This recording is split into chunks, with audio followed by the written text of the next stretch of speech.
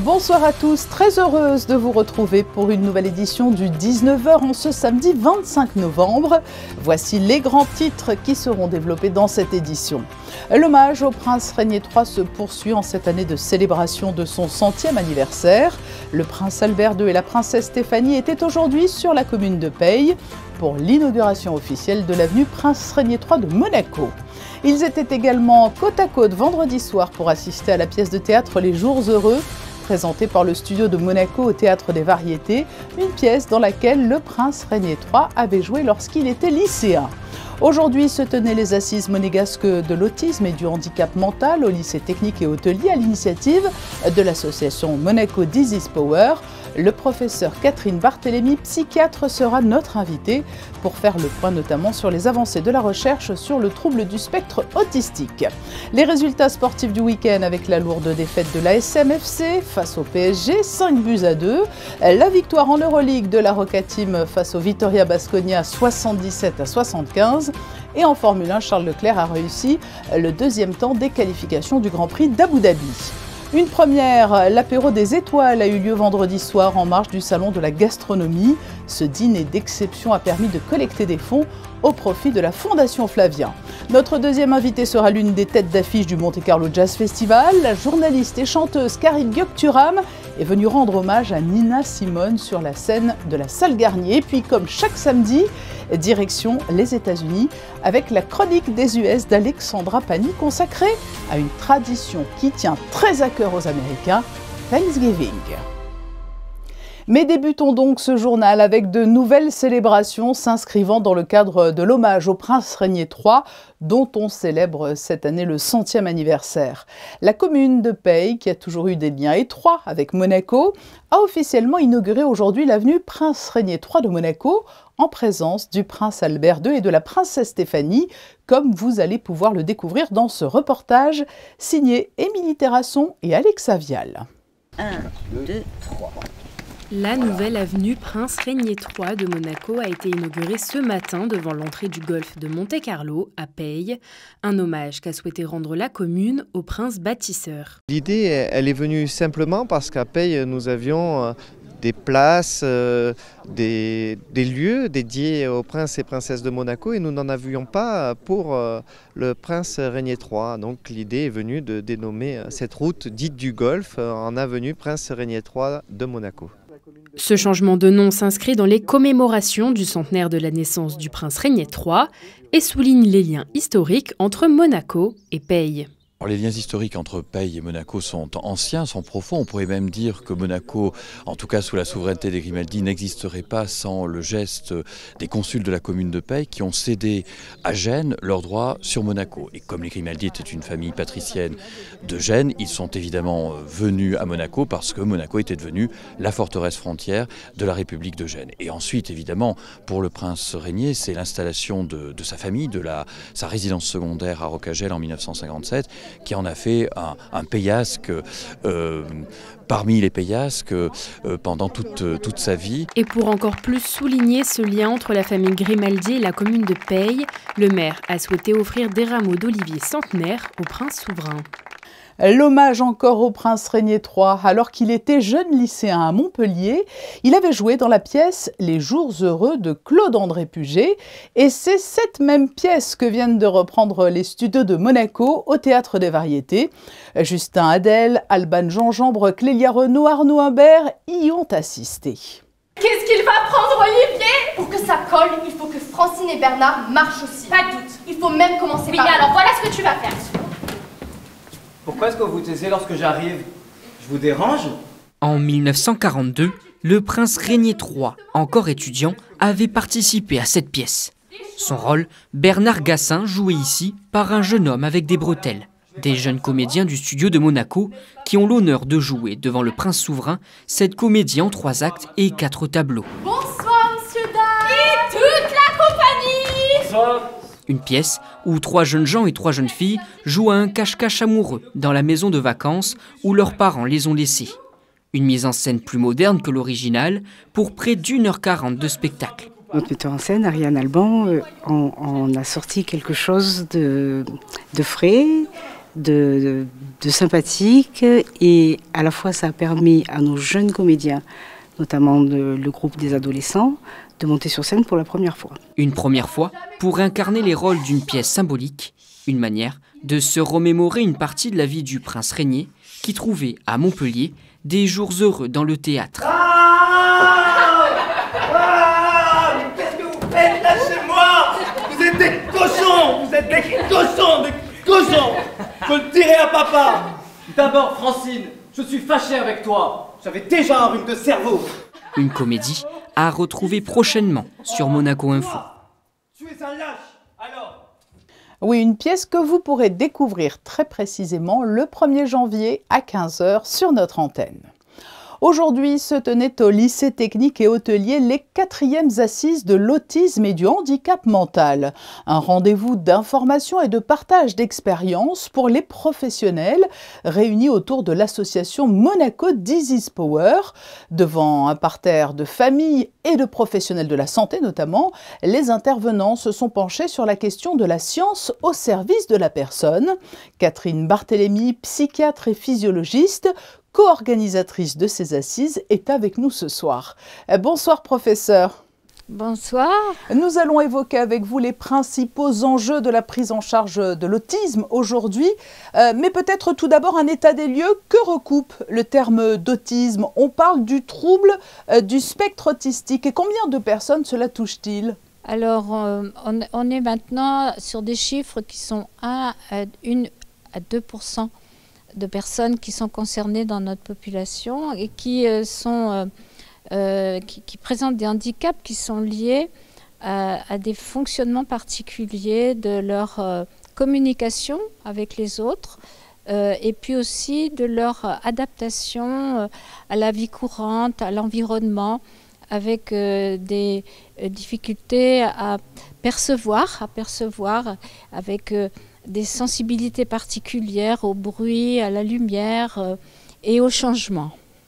Et pour une bonne prise en charge, il faut peut-être aussi euh, mettre en place euh, tout d'abord une détection plus précoce possible encore Alors, les progrès, grâce au, je dirais, à la recherche médicale, hein, ont, permis vraiment euh, de définir un certain nombre de signes qui euh, nous permettent d'agir tôt pour prévenir. Qu'est-ce que j'entends par là?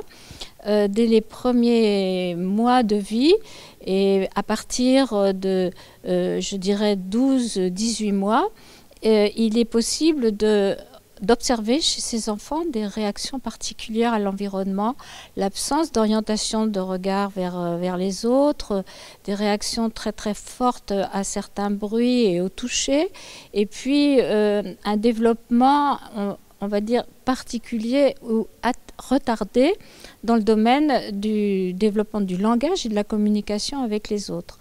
Et hum, ce repérage précoce maintenant a été, euh, euh, a été diffusé dans un certain nombre de manuels qui sont largement diffusés auprès des personnels de la santé, de la santé, les médecins, les péricultrices et, et les personnels des crèches, par exemple, pour référer ces enfants qui ont ce qu'on appelle un écart au développement vers des spécialistes qui vont faire le diagnostic.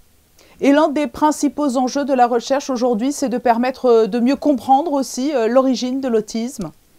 Euh, bien entendu, hein, il y a beaucoup de recherches en biologie et en particulier sur le fonctionnement du cerveau pour mieux comprendre pourquoi ces enfants réagissent de manière différente à l'environnement. Ce qui est euh, maintenant mieux éclairé, c'est le fonctionnement de certains réseaux à l'intérieur du cerveau qui, depuis la naissance et même avant, euh, fonctionnent différemment chez ces enfants et les empêchent de décoder, comme les autres enfants, euh, les, les, signes, les signaux qui viennent d'autrui la parole et, aussi les échanges et la motricité pour se développer comme les autres enfants. Donc euh, euh, ces, écarts au développement qui amènent à un diagnostic précoce, euh, je dirais, offrent la possibilité pour ces enfants d'être pris en charge, on va dire, par des équipes spécialisées aussi bien dans des services publics que en, libéral pour offrir de l'éducation et des rééducations de toutes ces fonctions. Oui, justement, quelle est la nature de la prise en charge? C'est une façon de développer les capacités personnelles, la prise en charge aujourd'hui? Ah, absolument, absolument. Ça se base sur euh, une évaluation des possibilités de l'enfant. Au lieu de regarder euh, ce qui ne va pas, on regarde ce que euh, l'enfant sait faire. Et à partir de ce qu'il sait faire, on, va développer des capacités nouvelles. Autrement dit, cette éducation, ces rééducations vont lui permettre de se développer de manière optimale et de rattraper ce qu'on appellera le, parcours. Euh, de rattraper au mieux le, parcours optimal du développement euh, chez un enfant, euh, entre guillemets, ordinaire du même âge. Oui, et ce matin aux assises, vous avez évoqué la question notamment des apprentissages scolaires hein, et plus généralement de l'intégration aussi des enfants autistes. Alors c'est un point très très important, c'est que le, collectif, hein, la, vie en collectivité pour ces enfants, est, un point euh, très positif hein, pour euh, soutenir leur développement et en particulier social, bien entendu, et puis aussi le langage. Et puis il y a aussi euh, l'importante hein, question de l'accompagnement des familles, des proches qui se trouvent bien souvent démunis. Hein. La famille qui autrefois était considérée entre guillemets comme coupable du trouble est maintenant inscrite comme partenaire euh, dès le départ euh, de, la prise en charge avec une formation, un accueil des familles et euh, le développement d'outils qui sont partagés dans les différents espaces de vie pour promouvoir la communication et l'adaptation de ces enfants. Merci, professeur Barthélémy, d'avoir été notre invité alors que se sont tenues aujourd'hui les assises monégasques de l'autisme et du handicap mental. Merci beaucoup. Au chapitre de la santé toujours, cette belle récompense pour la Croix-Rouge monégasque. La Fédération internationale des organisations de donneurs de sang lui a remis le mérite international du sang. Je vous propose d'écouter le président de la fédération, le docteur Abdelmalek Saya. La médaille de mérite, c'est une motivation, une reconnaissance en même temps. Donc c'est une motivation, une reconnaissance par rapport au travail accompli par les, membres de la Croix-Rouge et le travail euh, euh, duquel s'inspire toute l'humanité euh, en matière d'éthique et de travail volontaire et non rémunéré. Donc la Fédération internationale des organisations des donneurs se fait un grand honneur d'honorer la Croix-Rouge par une médaille de mérite internationale. Le président de la Fédération internationale des organisations de donneurs de sang était interrogé par Justin Adel. Les sports et des fortunes diverses pour les clubs de la principauté. En basket, la Roca Team s'est imposée de peu, mais s'est imposée tout de même 77 à 75 face au Vitoria Basconia. Mike James a une fois de plus dynamité l'attaque monégasque, alors que Jaron Blossom Game a libéré l'équipe en inscrivant le panier gagnant à la toute fin du match. Les basketteurs monégasques occupent la sixième place du classement d'Euroleague. Du côté de la SMFC, la soirée a viré au cauchemar à Paris. Les hommes d'Adi Hutter ont encaissé 5 buts alors qu'ils en ont marqué 2. Ils sont euh, quant à eux avant la fin de la 13e journée, troisième de Ligue 1 derrière Nice et le PSG. À Abu Dhabi se sont jouées aujourd'hui les dernières qualifications de la saison et c'est Max Verstappen, déjà assuré du titre mondial, qui a réalisé le meilleur temps des qualifs. Il s'empare donc de la pole position et partira juste devant Charles Leclerc. Le monégasque a décroché le deuxième temps des qualifs. Le Grand Prix d'Abu Dhabi est à suivre demain à partir de 14h. La toute première édition de l'apéro des étoiles s'est déroulée en parallèle du salon Monte Carlo Gastronomie sous le chapiteau de Fontvieille vendredi soir. Un dîner de 60 couverts organisé par la Fondation Flavien en collaboration avec les plus grands chefs de la principauté et de la région, dont le chef étoilé Mauro Colagreco, parrain de l'événement. C'est un reportage d'Anaïs Riu et Arnaud Humbert. L'événement était immanquable sous le chapiteau de Fontvieille. Les couleurs orangées de la Fondation Flavien ont pris place pour célébrer la toute première édition de l'Apéro des Étoiles. Un dîner gastronomique de 60 couverts au profit de l'association de lutte contre les cancers pédiatriques. Alors c'est une idée qui a germé suite au décès du chef Joël Robuchon, chef étoilé, qui a rejoint mon étoile et d'autres étoiles. Et de là, ben, je dis tiens, pour avoir euh, des personnes que j'aimerais avoir à ma table, si je peux dire, euh, on a prévu une table à rallonge pour mettre d'autres personnes. Suite à cette idée, Denis contacte le chef Joël Garot, qui à son tour parvient à réunir les plus grands chefs de la principauté, tous sensibles à la cause de la fondation. C'est un vif succès parce que tout le monde se sent, on va dire, concerné par euh, cette très belle action qu'ils font aujourd'hui pour la Fondation Flavien. Et pour moi, c'est vraiment un plaisir et un honneur de faire ça pour la Fondation avec euh, ben, 18 chefs qui ont répondu présent. Alors, je ne connaissais pas la Fondation, c'est grâce à Joël qui, qui m'a fait part de son invitation que j'ai commencé à m'intéresser. Et euh, bien sûr, je savais qu'il ne m'appelait pas pour n'importe quoi. Euh, il m'a appelé euh, pour une vraie cause et voilà, tout de suite, euh, en tant que père, en tant que aussi défenseur d'une défenseur d'une cuisine qui nourrisse l'âme, l'esprit et, et le bien-être, ben, j'ai dit tout de suite oui et je suis très honoré de son invitation. Exactement. Ça, a été, pour l'anecdote, ça a été le premier chef qui m'est répondu. Un soutien non négligeable, tout comme la convention récemment signée entre la Fondation, le gouvernement monégasque et l'hôpital de la Timone à Marseille pour le traitement des tumeurs du système nerveux central chez les enfants. Elle a de multiples casquettes qui lui valent d'être autant appréciée par les téléspectateurs qui suivent ses journaux ou par les mélomanes qui viennent l'écouter chanter. Karine Gyokturam fait partie de l'affiche de l'édition 2023 du Monte Carlo Jazz Festival.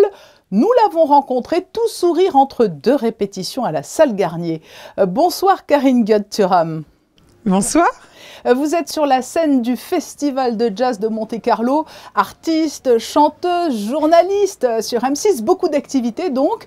Euh, mes deux passions hein, en parallèle, le journalisme, la musique, cela concourt à votre équilibre et ces deux passions se nourrissent l'une l'autre oui, tout à fait, parce que finalement, après une, mûre réflexion, parce que souvent on me disait, mais oui, mais si tu devais choisir, je, c'est impossible pour moi de choisir. La musique complète le journalisme qui complète la musique. Pourquoi? Parce qu'en fait, il s'agit toujours de transmission. Alors, c'est une grande voix, une légende, euh, mais qu'est-ce qui vous a poussé à cet hommage à Nina Simone dans l'album que vous présentez Je que vous alliez me dire, mais qu'est-ce qui vous a pris? En fait, euh, Nina Simone, c'est évidemment une inspiration immense pour moi. C'est un modèle absolu. À la la fois en tant qu'artiste et en tant que personne.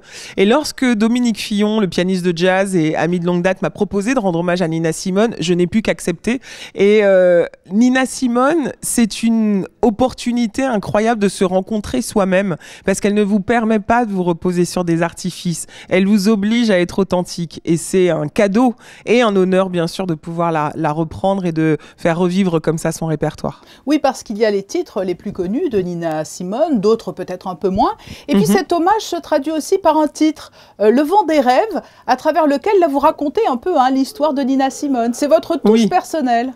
Oui, tout à fait. C'est une façon de contextualiser, non pas en tant que journaliste, en donnant euh, des éléments, des données, des informations, mais en racontant un contexte de manière poétique, de manière à ce qu'on comprenne mieux l'œuvre de Nina Simone et plus encore que son œuvre, sa colère, parce que c'est vraiment un des fils rouges de sa carrière et de son répertoire, de sa vie, et de, et de comprendre aussi quelle était l'atmosphère de son époque et pourquoi elle était en colère. Plus généralement, en tant qu'artiste, Karine, vous n'interprétez pas seulement, vous écrivez, pour vous, pour d'autres.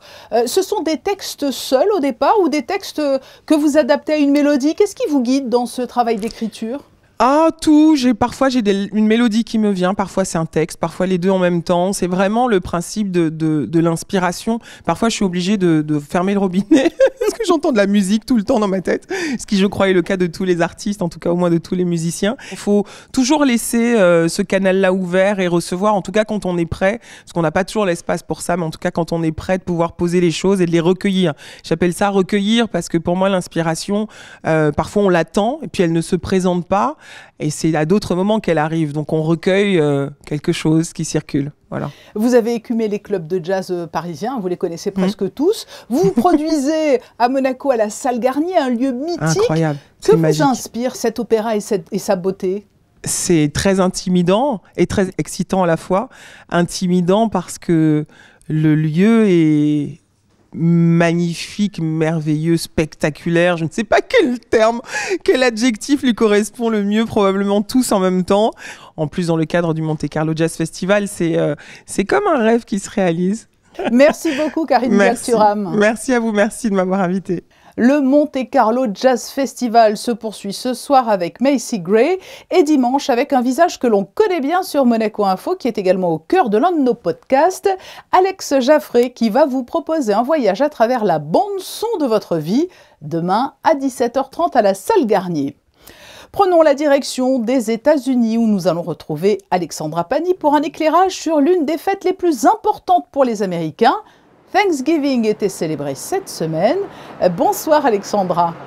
Bonsoir à vous. Vous l'avez dit ici, Thanksgiving est presque autant important euh, que Noël. C'est un jour férié. Les administrations sont donc fermées. Et contrairement au reste de l'année, même à New York, la plupart des commerces ferment aussi. C'est dire l'importance euh, de cette fête. Euh, Mais que célébrons-nous exactement ce jour-là? Il s'agit maintenant d'une journée placée sous le signe de la gratitude et de la reconnaissance. Selon les historiens, l'origine de cette fête remonte à 1621, lorsque des colons anglais, appelés les pères pèlerins, auraient partagé un repas avec des Amérindiens pour célébrer leur excellente récolte et leur survie après un hiver très rude. C'est sous le président euh, Franklin Roosevelt que la date est fixée au quatrième jeudi du mois de novembre en 1939. Aujourd'hui, c'est avant tout l'occasion de se retrouver en famille ou entre amis autour d'un copieux repas dont le plat principal est traditionnellement une dinde rôtie avec sa sauce cranberry. En accompagnement, on retrouve généralement de la purée de pommes de terre ou de patates douces, des haricots verts et en dessert, on a le choix entre plusieurs tartes à la citrouille de saison, aux pommes ou noix de pécan selon les goûts. Selon la Fédération nationale de la dinde, oui, c'est une fédération qui existe ici. Euh, 88% des Américains en consommeraient chaque année ce jour-là. Pour le département américain de l'agriculture, cela représente 46 millions de volatiles. Et vous avez déjà dû voir ces images, mais chaque année, deux dindes sont graciées par le président américain. So happy Thanksgiving. God bless you all and may God protect our troops. Autre grande tradition de Thanksgiving à New York, pour tous ceux qui n'en profitent pas pour s'échapper de la ville, pour un long week-end, l'on se rend en famille à la parade de Macy's et ses fameux euh, ballons géants. Il s'agit cette année de la 97e édition, une tradition qui a été créée par l'enseigne de grands magasins en 1924 et diffusée à la télévision dans tout le pays pour une durée euh, de 3h30 cette année. Je suis allée à la rencontre de quelques New-Yorkais pour leur demander comment eux fêtaient Thanksgiving. On les écoute. Uh, Thanksgiving represents family and friends and a lot of food. And that's the best part about it. That represents for me union of love and friendship. So I usually gather with friends and usually I join friends and their families. So it's beautiful in a way I'm not putting any emotional attachment to that, but it's just nice to gather with people you love and share a meal. Thanksgiving is a typical American holiday. It's a family holiday, unlike most other American holidays. One simple way to figure this out is that there are virtually no restaurants open on Thanksgiving. But restaurants are open on Christmas, they're open on Easter, they're open on other days. But they're not open on Thanksgiving because it's a family holiday. I'm usually just grateful for everyone that's around me family, friends, and waking up every day, eating food, and just living a healthy life. Et si de notre côté en Europe nous ne fêtons pas Thanksgiving, une partie de cette fête est bel et bien arrivée jusqu'à nous car le lendemain, comme l'ensemble des Américains, nous avons nous aussi à présent les promotions de Black Friday, suivies depuis quelques années par le Cyber Monday, un week-end où l'on retrouve un très grand nombre de promotions euh, dans les magasins, l'occasion euh, de débuter les achats de Noël bien sûr. Du côté des prévisions météo à Monaco, les belles journées ensoleillées vont-elles se poursuivre et qu'attendre des températures? Réponse avec vous, Justin Adel. Bonsoir. Bonsoir Patricia, la fraîcheur est de retour. Elle va s'installer tout au long du week-end pour cette fois-ci durer dans le temps. Malgré un grand soleil, les températures ne dépasseront pas les 12 degrés et un ressenti de 9. Les minimales seront de 7 degrés, même si le ressenti pourrait faire descendre cette température aux alentours de 5 degrés. Concernant la température de l'eau, ça ne bouge pas, 17 degrés. Demain, le soleil se lèvera à 7h36 et vous pourrez admirer le coucher de soleil à 16h58. En ce 26 novembre, n'oubliez pas de souhaiter une bonne fête à toutes les delphines. Merci Justin, nous vous retrouverons tous les deux demain à 18h30 pour votre édition dominicale. Mais d'ici là, passez une belle soirée, un bon dimanche. Et pour nous quitter, les photos de Manuel Vitali sur le 36e tournoi international d'épée homme qui se dispute tout au long du week-end à Monaco. À demain